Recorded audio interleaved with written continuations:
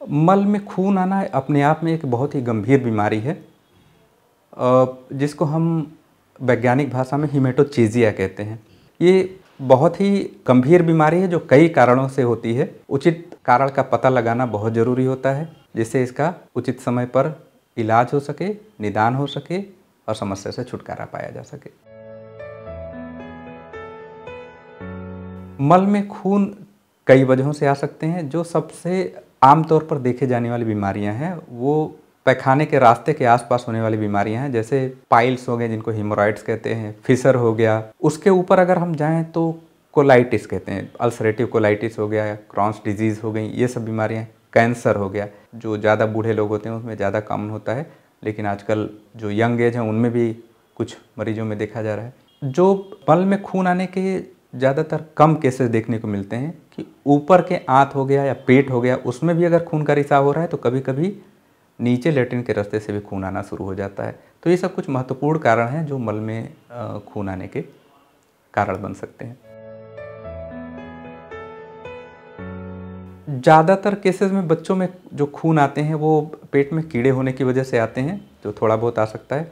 लेकिन अभी जो कुछ महत्वपूर्ण अध्ययन किए गए हैं, उसमें देखा गया है कि बच्चों की आंतों में एक विशेष प्रकार की बीमारी है, जिसको पॉलिप कहते हैं। पॉलिप का मतलब होता है कि एक ऐसी संरचना जो अपने आप ही आंतों में निकल आती है, मटर के दाने के बराबर, उंगली के जैसी हो सकती है, और उस पर अल्सर बन जाता है और वहाँ से खून निकलना शुरू हो जाता है, जिसको पॉलिप कहते हैं। दूसरा जो बच्चों में खून आने का कारण है, वो है कोलाइटिस, जो ज़्यादातर बड़े लोगों के केसेस में देखा जाता है, लेकिन आजकल की बदलती हुई जीवनचर्या में बच्चों में भी अल्सरेटिव कोलाइटिस बहुत ही कॉमनली पाया जाने लगा है।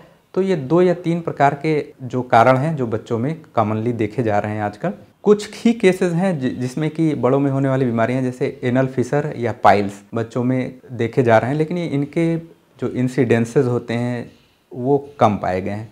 ज़्यादातर केसेस में पॉलिप हो गए, कोलाइटिस हो गया, यही पाए गए हैं।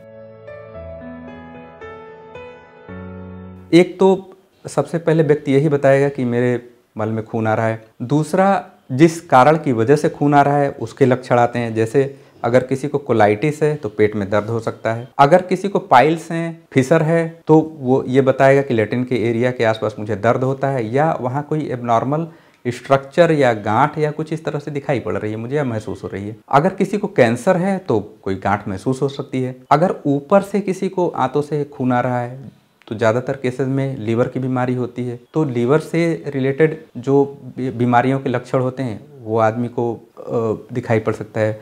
पेट में पानी हो सकता है, पीलिया हो सकता है, ये सब सारी चीज़ें। तो इतने लक्षण हैं जिसके आधार पे हम बीमारी को पकड़ सकते हैं कि लेटिन के रास्ते से खून क्यों आ रहा है किसी को मल में, और दूसरे एसोसिएटेड लक्षण क्या हैं।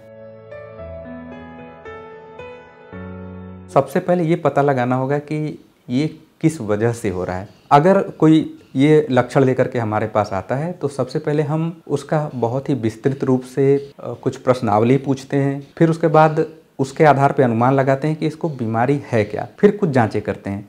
उसमें जो सबसे महत्वपूर्ण है, लेटिन के रास्ते की दूरबीन से जाँच। उसमें हमें लगभग 80 से 90 परसेंट केसेस में पता लग जाता है कि लेटिन में खून किस वजह से आ रहा है। अगर लेटिन में खून किसी ऐसी वजह से आ रहा है, जैसे कि पॉलिप हो गया, कोलाइटिस हो गया जिसका कि इलाज सर्जरी से हो सकता है तो उसको हम मरीज़ को ऑपरेशन कर देते हैं। ज़्यादातर केसेस में जो लेटिन में खून आता है, उनका इलाज सर्जरी की वजह से ही, सर्जरी से ही किया जा सकता है। दवाइयों का रोल उनमें बहुत ही कम होता है। जो दवाइयाँ होती हैं, वो चार से पाँच दिन तक चलाई जाती हैं। अगर उनसे फ़ायदा हो जाता है तो भी एक बार सर्जन को ज़रूर दिखाया जाता है कि इसमें ऑपरेशन की ज़रूरत है कि नहीं है। तो इस तरह से हम उचित ढंग से मर्ज को पकड़ करके और उसका इलाज करते हैं और समस्या का निदान करते हैं।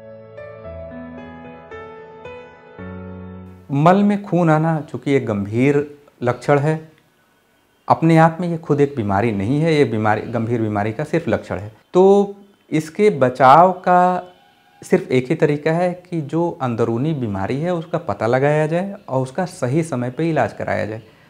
नहीं तो कुछ बीमारियाँ हैं, कैंसर, वो फैल सकती हैं, जानलेवा हो सकती हैं। अल्सर्स हो गए। अगर उनका सही समय पे इलाज न किया जाए तो बहुत ढेर सारी बीमारियाँ इनकी वजह से पैदा होती हैं। खून की कमी हो सकती है, और दूसरे अंग प्रभावित हो सकते हैं, जोड़ों का दर्द शुरू हो जाता है, और भी अनेकों तरह की बीमारियाँ उसकी वजह से पैदा हो सकती हैं। तो सबसे ज़रूरी है कि अगर किसी को मल में खून आ रहा है तो किसी अच्छे डॉक्टर को दिखाए वो, उसका उचित ढंग से निदान हो, उचित ढंग से इलाज हो। सिर्फ़ यही बचाव का एकमात्र तरीका है।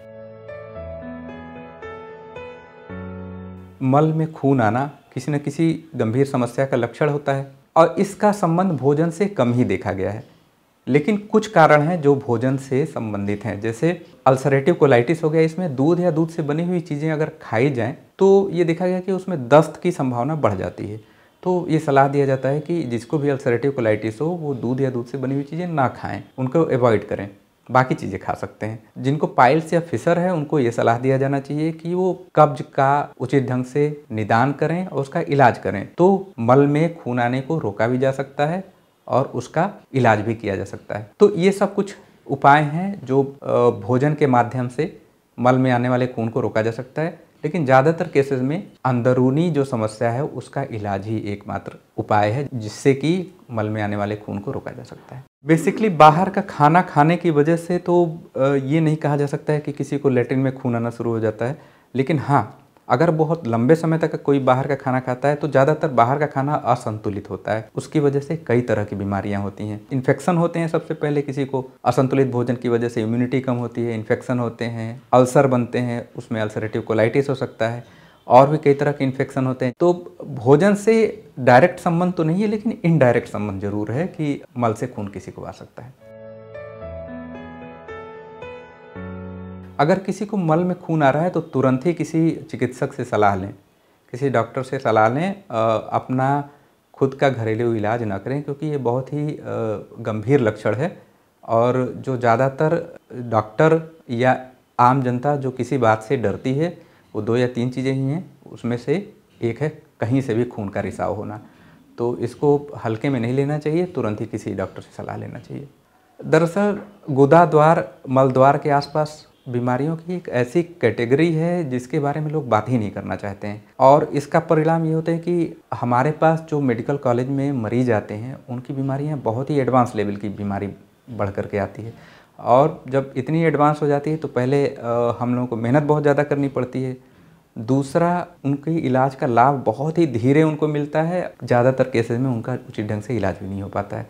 तो जैसे ही किसी को मलद्वार के आसपास होने वाली कोई भी बीमारी हो बिना बेझिझक निसंकोच डॉक्टर से संपर्क करें। अगर बात न बन पाए तो हमारा डिपार्टमेंट इस बारे में, उनकी सेवा करने के लिए हमेशा तत्पर है।